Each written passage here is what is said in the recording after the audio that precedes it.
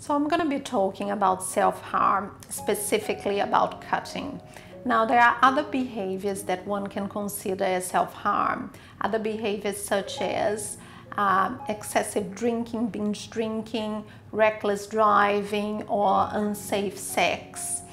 Uh, the reason why I would like to um, talk about cutting is because it's very prevalent among young females specifically between the ages of 14 and 19 years old. Now, it's becoming more and more prevalent. Uh, I think young females, they see their peers through social media and other forms of communication doing this cutting. Cutting is usually defined as a self-injury that is committed to the body with no suicidal intention.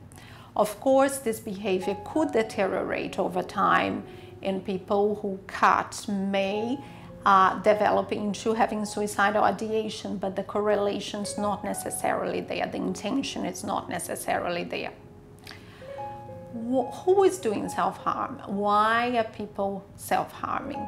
This seems to be very counterintuitive to harm their own body. And that's the questions that parents would ask if they find out that the daughter is uh, cutting, they would tend to panic because as parents, parents would have this instinct to protect their child.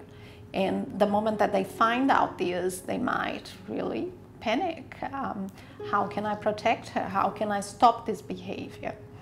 Now, I would like just to give parents a few insights on why people do this and what could be the underlying causes leading to self-harm. In the past, it used to be a sign of something more severe, such as sexual abuse. Why do I say in the past? Because as I said, it's becoming more and more common. So nowadays, what I see in my practice is that teenagers are doing this maybe because they are simply experimenting. They are doing this a few times and eventually they grow out of that. It could be a sign that they are struggling with relationships, with academics.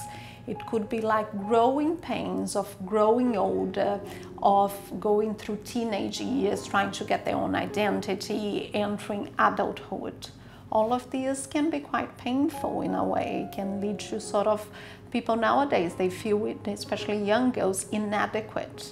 So they might have this emotional, psychological pain that they don't know how to deal with, they don't know how to control. And the moment that they cut, it gives them this illusion that they are in charge. They are in charge of their own pain. They are imprinting the pain to the body. Uh, and, and that gives some sort of relief that it's a momentary relief. Is um, it's something of course that it's problematic because it can lead to medical complications. Sometimes people need to get stitches or it gets infected. Not to mention that usually people feel ashamed. I've seen uh, young adults who still have scars from cutting and they feel ashamed of showing the new boyfriend certain parts of the body. Some people consider self-harm as well as an attention-seeking behavior. In my practice, I don't see this so much. I think it's usually people who self-harm, they do this privately and they hide their scars. Sometimes it takes a long time for parents to even find out that the daughter is, is self-harming.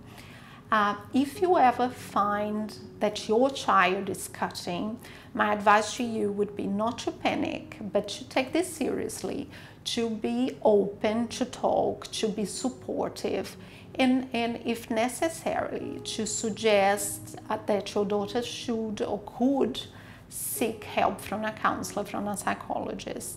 A psychologist would uh, be experienced in the topic, would be able to offer other coping strategies, help your daughter with other coping strategies, but also give this uh, confidential and safe environment your daughter might be reluctant to talk to you simply because she doesn't want to bur uh, burden you with this problem. Uh, so that would be my advice for parents.